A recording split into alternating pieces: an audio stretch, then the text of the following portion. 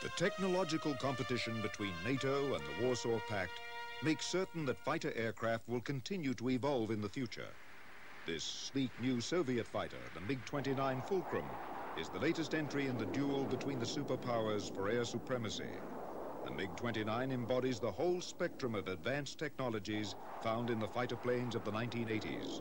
Computers, composite materials, radar-guided missiles, and electronic warfare devices.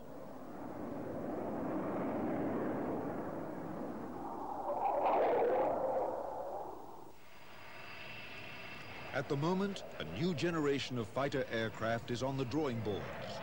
The new fighters are likely to incorporate exotic features such as stealth technology to make them electronically invisible to radar.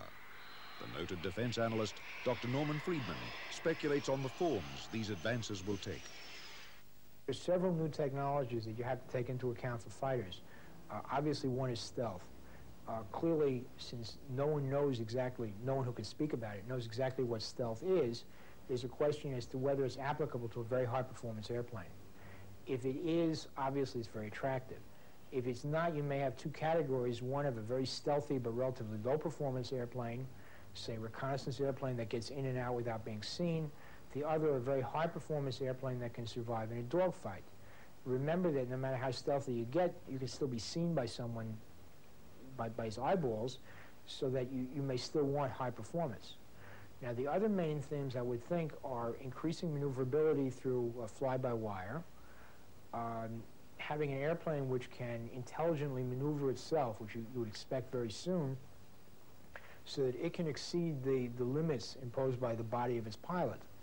Uh, if you're willing to black out while the thing makes a very tight turn because it knows it will recover, that, that should make a difference.